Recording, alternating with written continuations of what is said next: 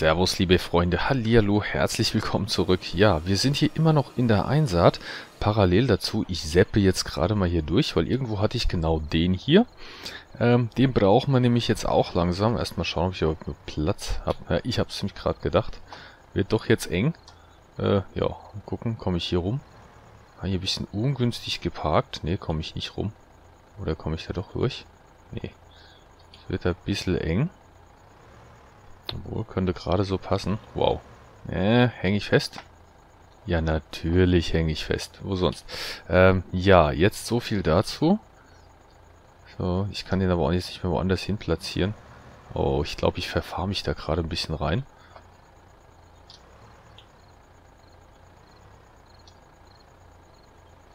So, mal gucken, kommen wir da jetzt rum? Ja, wunderbar. Gut, denn wir können auch hier jetzt mit der äh, mit dem Düngen starten. Ähm, vorzugsweise fahren wir mal zum richtigen Feld hinter. Denn ähm, ja, das Großfeld ist jetzt so gut wie fertig. Da müssen wir gleich nur noch mal schauen. Es kann natürlich jetzt passieren, dass wir noch mal neu ansetzen müssen. Wenn der jetzt runtergefahren ist und dann wieder hochfährt, naja, mal schauen.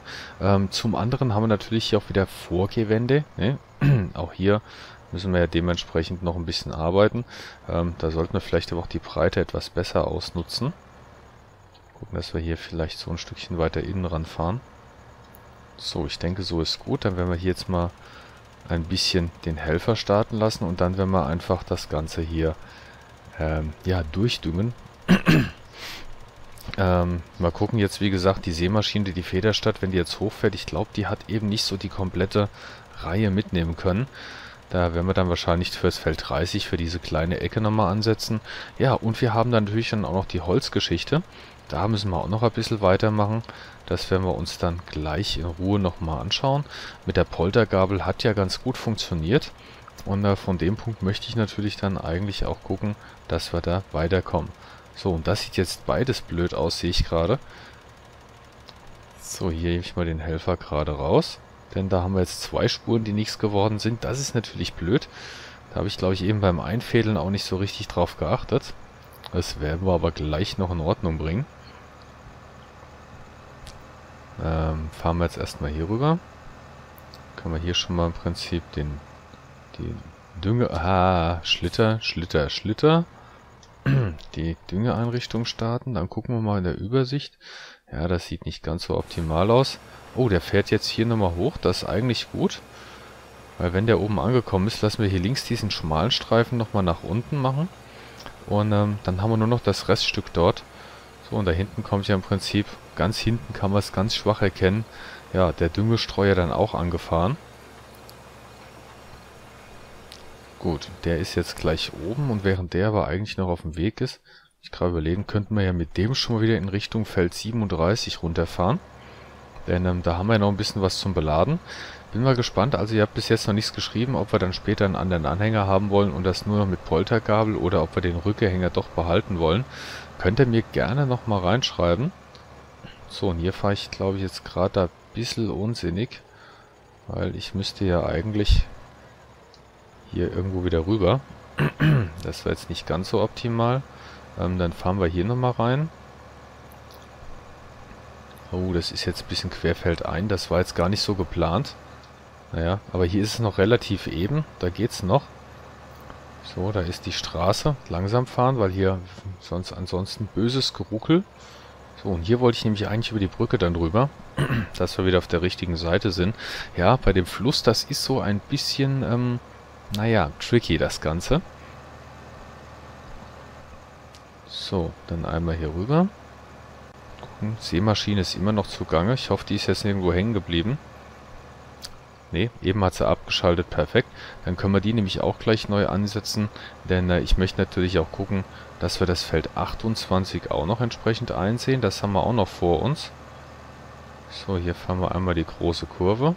Und ich würde sagen, hinter dem Feld 14 fahren wir dann mal die Straße runter. Da müssten wir eigentlich da ziemlich gut in unsere Richtung kommen. So, gucken wir mal. Wir hier drauf fahren. Obwohl, wir fahren jetzt erstmal hier auf Seite. Ansonsten wird das Ganze nämlich ein bisschen zu hektisch. Und ähm, schauen gerade mal. Der steht ja jetzt hier oben. Das heißt, den werden wir jetzt hier nochmal auf diese ja, fälschliche Spur setzen, wo hier noch ein bisschen was gefehlt hat. Denn das möchten wir natürlich auch noch einsehen. Dann kann der hier schon mal weitermachen. Mal schauen, wo unsere Felsspritze gerade hantiert. Die ist hier unten. Die kommt im Moment noch ganz gut zurecht. Mal gucken, da oben beginnt dann der eventuell kritische Teil. Da müssen wir nochmal ein Auge drauf halten. Passt aber im Moment auch noch.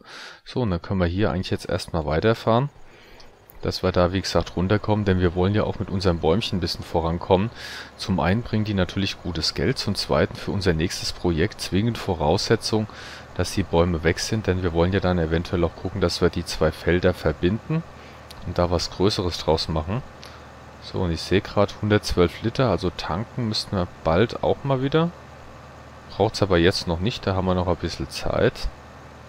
Mal kurz gucken, wenn wir da unten entlang fahren. Ja, müssten wir eigentlich ziemlich genau rauskommen. Genau. Fahren wir bis zum 28er da links und dann sind wir da.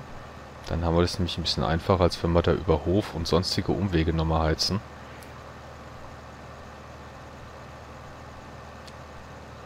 So, und wenn die Seemaschine unten angekommen ist, dann setzen wir sie ein letztes Mal an der Ecke vom Feld 30 an und dann kann es dementsprechend weitergehen.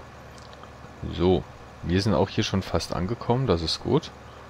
Muss man immer so ein bisschen Auge drauf halten. Ich weiß nämlich jetzt nicht, ob die Federstedt dann einfach weiter einsät oder ob der Helfer erkennt, da ist schon eingesät und da nichts mehr macht. Müsste er eigentlich.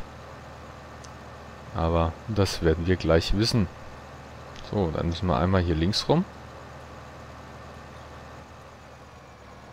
So, und da oben steht auch schon entsprechend der Kollege mit der Poltergabel. Mal gucken, ob wir vielleicht den Rest wirklich so auch wieder aufgenommen kriegen. Stellen wir uns vielleicht auch gleich andersrum hin. Vielleicht so seitlich, dann ist es ein bisschen leichter. Denn ich denke mal, die Äste, die müssten wir eigentlich dann ohne Probleme kriegen. Und ich möchte das natürlich mit der Poltergabel auch dann auch äh, nochmal ausprobieren. So, das heißt, äh, wir machen die Stützen raus und nehmen den einfach mal ganz nach oben, damit er hier nicht stört. So, und bevor es hier weitergeht, wie gesagt, noch einmal die letzte Fuhre zum Ansetzen. Das heißt, hier müssen wir ein Stück hoch. Aber diesmal lenkt man auch passend ein, dass wir nicht wieder eine Überlappung haben. So, können hier den Helfer starten lassen.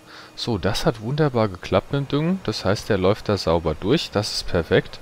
Und ähm, ja, wir werden dann entsprechend hier mal ein bisschen weiter hantieren. Machen wir mal das große Licht an, ne? Denn wir wollen ja... Ah, das habe ich jetzt auch gut geparkt, ne? Kann ich aber auch gleich noch was anderes probieren, weil ich ja mal probieren wollte, ob wir da auch mehrere Stämme mit einem Schlag kriegen können. Fahren wir mal hier ran. Na, noch ein Stück hoch. So, mal kurz das Dingelchen aufmachen. So. Ja, vielleicht noch ein bisschen aufmachen. So, noch ein Stück vor vielleicht. So. So, jetzt sind wir schon ganz unten. Mal gucken, wenn wir jetzt zumachen, ob das so klappt, dass wir hier beide Stämme oder Stammstücke mitnehmen können. Äh, sieht ein bisschen wackelig aus, aber irgendwie... Äh, Hängen die jetzt doch zusammen? Wo? Ah, eben hat er ihn losgelassen. Und der ist extrem lang, sehe ich gerade. Das ist natürlich ungünstig. Aber jetzt versuchen wir den mal noch ein bisschen hochzusetzen. So. Oh Gott, oh Gott. Also das ist nicht ganz so optimal. Da muss man natürlich dann noch ein bisschen sägen. Probieren wir jetzt mal, ob wir den so reinkriegen. Lässt sich natürlich schön transportieren, klar. Und jetzt müssen wir hier sogar ganz kurz mal ansatzweise auf das Feld. Halt, nicht so weit. So. Das sieht schon mal eigentlich ganz gut aus. Äh, von der Seite könnte es auch passen. Wenn wir den jetzt da runterlassen. Aber da müssen wir trotzdem erst sägen, das ist blöd. Also im Prinzip müssen wir ihn so ablassen ein wenig. Ich noch ein Stückchen zurückfahren. Ich weiß noch nicht, ob wir den so gesägt bekommen. Ah, da ist ja zum Glück Platz, das ist gut. Ähm, so, vielleicht jetzt mal kurz absteigen, mal schauen. Ich würde ihn nämlich ganz gerne erst noch klein sägen, weil die Stelle, das ist ein bisschen ungünstig. So, nehmen wir uns mal die Säge, hups, raus. Ah, perfekt, können wir direkt hier einen sauberen Schnitt machen. So, dann können wir den nämlich auch jetzt hier einfach ablegen. Dann passt das nämlich. Ich probiere das mal aus der Ansicht. Das heißt, wir müssen jetzt mal gucken, dass wir das hier nach unten neigen. So, und jetzt aufmachen. Ne, das mag aber nicht so richtig. Also, eben haben wir es. Wunderbar. Ja, ist drin. Klappt eigentlich soweit ganz gut. Jetzt müssen wir nur gucken, dass wir hier die restlichen Sachen noch aufnehmen. Ähm, geht generell mit der Poltergabel ganz okay. Aber äh, gut, auch noch ein bisschen Gewöhnung, Gewöhnungssache. So, vielleicht noch ein Stückchen raus. Weil da muss man natürlich dann auch gucken, dass man anständig ranfährt. So, gucken, ob er den jetzt greift. Nö, greift er nicht. Toll. Mal gucken, wo wir hier stehen. Ah, der ist noch nicht ganz runter. So, jetzt müsste das besser gehen. Jetzt gucken wir, ob wir ihn jetzt gegriffen kriegen. Ja, so ein einzelner Stamm ist gar nicht so leicht. Oh, der wackelt da ganz böse drin rum. Aber wir haben ihn drauf. Äh, gehabt, okay. Also das klappt dann nicht so gut. Fahren wir hier mal rüber, gucken, ob wir hier den großen Brummer noch kriegen. Ah, die sind alle noch nicht gesägt, die Teile. Das ist blöd.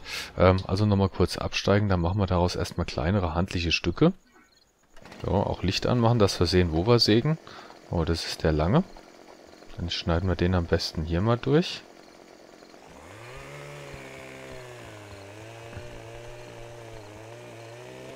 So, dann haben wir hier noch einen, den können wir da auch gleich absägen. Der ist von der Länge eigentlich auch gut.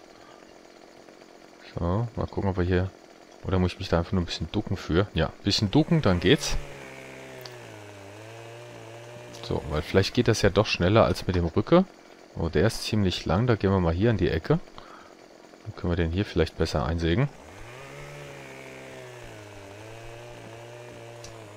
So, jetzt probieren wir das Ganze nochmal mit dem Traktor aufzunehmen.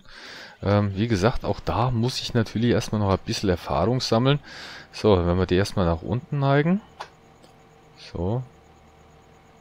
Dann das Ganze mal öffnen. Ja, die Maussteuerung ist da noch ein bisschen gewöhnungsbedürftig. Man braucht viel Platz auf dem Platz, äh, auf dem Schreibtisch. Man braucht viel Platz auf dem Platz. Ja, super formuliert. So, Feldspritze ist durch. Düngestreuer läuft noch. Ah, yeah, da muss man echt... Oh, wow, wow. Äh, das ist, äh, ja, für den Grobmotoriker Solaris nicht ganz so einfach. So, das heißt mit Fingerspitzengefühl hinter. Dann das Ganze nach unten. Und jetzt mal gucken, wenn wir zumachen, dürften dann eigentlich krallen. Ja, das sieht doch schon mal gesund aus. So, und jetzt könnten wir sogar gucken, ob wir den vielleicht hier direkt drauf kriegen. Oh, der, der läuft sogar durch die Baumstämme durch, okay bisschen ungewohnt, aber nun gut. Ähm, vielleicht noch ein Stückchen rüberfahren. Also viel äh, schneller geht das im Moment auch noch nicht, aber das kann auch jetzt damit zusammenliegen, dass ich einfach noch nicht genug Erfahrung habe da drin. So, den gleich wieder nach unten, das passt. Ein Stück nach vorne. Oh, wie weit können wir da runter? Eigentlich ganz gut. Ah, da hängen wir schon ein bisschen. Vielleicht noch ein Stückchen nach hinten. So, jetzt machen wir das Ding mal auf. So, dann liegt der zweite Stamm schon mal drin. Wunderbar, dann können wir gleich hier den nächsten probieren. Oh, ja, eben hänge ich an den Baumstämmen ein bisschen fest. Wäre es vielleicht ganz gut, der, der stört, gleich mal als nächstes zu nehmen. Aber ich sehe auch schon, unsere Zeit ist schon wieder um. Ist natürlich auch jetzt blöd. Also hier sauber ranfahren. So, dann einmal schon mal ein bisschen vorab nach unten. Gucken, dass wir den natürlich auch nach Möglichkeit relativ genau in der Mitte erwischt. Wegen Schwerpunkt. So. Ja, das war jetzt, naja, fast gut. Machen wir die Klappe zu. Ja, das sieht nicht sehr stabil aus. Nee, das sieht gar nicht stabil aus der mag nicht so wirklich. Also das gibt dann nochmal ein Thema, da können wir uns nochmal unterhalten drüber. Da könnt ihr mir vielleicht auch nochmal einen kleinen Tipp geben, wie ich das am besten handeln kann. Ähm, denn so viel Erfahrung mit dieser Poltergabel habe ich jetzt auch nicht. Ähm, wir gucken jetzt nochmal ganz schnell. Seemaschine ist fertig, perfekt. Äh, ja, und der hängt. Deswegen war es ganz gut, dass wir jetzt doch nochmal geschaut haben. Das war natürlich jetzt wieder supi. Dann machen wir das nämlich jetzt andersrum. Dann fahren wir mit dem gleich nach oben und äh, lassen den von oben dann der nächsten Folge runterziehen. Weil vielleicht kriegen wir dann auch das Ganze übergangslos hin. Es ist immer so ein bisschen das Problem mit dem weiten Ausholen hier, ob das Ganze dann hinhaut. So. Äh, würde sagen, wir könnten vielleicht hier so in der Rubrik dann starten in der nächsten Folge, weil dann müsste er eigentlich ganz gut durchkommen. In diesem Sinn sage ich für heute aber erstmal Danke fürs Zuschauen, bis zur nächsten Folge. Servus und Tschüss.